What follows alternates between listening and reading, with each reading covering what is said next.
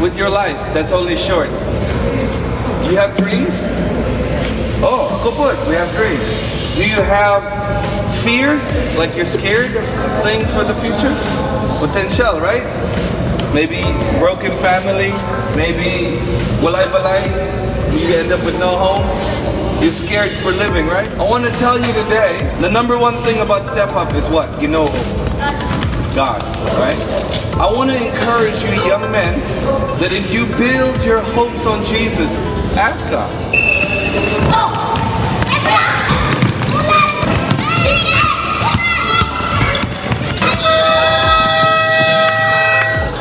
We're live. Step Up is live.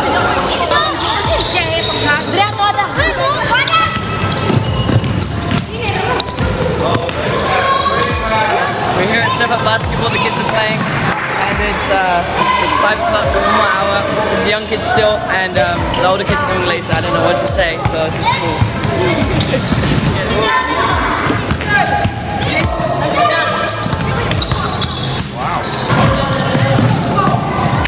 Let's play basketball. Get on.